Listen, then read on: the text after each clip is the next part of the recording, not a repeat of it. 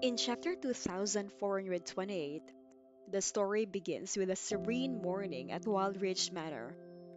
Serenity, the newlywed, wakes up feeling refreshed and naturally hungry after a long night's sleep.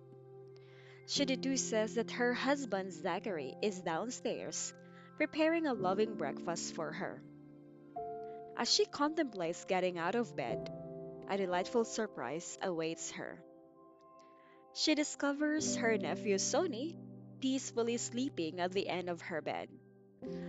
Puzzled as to how he ended up in her room, she speculates that the little boy must have sneaked in after Zachary's early departure to keep an eye on her but eventually fell asleep himself.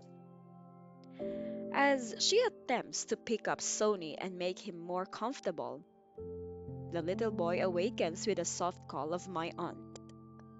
The genuine affection and familial warmth between them become evident as Sonny spontaneously hugs Serenity, revealing his endearing attachment to his aunt. Curious about his sudden drowsiness, Sonny shares that he climbed onto Uncle Kevin's lap was embraced, and then drifted off into sleep. The innocent exchange between Serenity and Sonny paints a picture of a loving family dynamic, emphasizing the sense of security and comfort Sonny finds with his aunt and uncles. Amused by Sonny's question about drowsiness being contagious, Serenity playfully agrees that it might be a possibility as the little boy expresses his concern about whether his aunt is tired or wants more sleep, Serenity assures him that she is fully awake and ready to start the day. The affectionate exchange is a testament to the nurturing environment Serenity provides for her nephew, embodying the role of a caring and attentive aunt.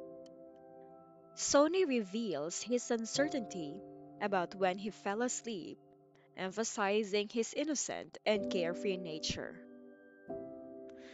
Serenity's proposal to let Sonny stay with her for the day and perhaps return home the next day reflects her understanding of the young boy's attachment to his mother. This decision highlights the depth of Serenity's love and commitment to nurturing family connections, even as she embarks on her new role as a wife. In conclusion, this chapter unfolds with morning surprises, showcasing the heartwarming bond between Serenity and Sonny.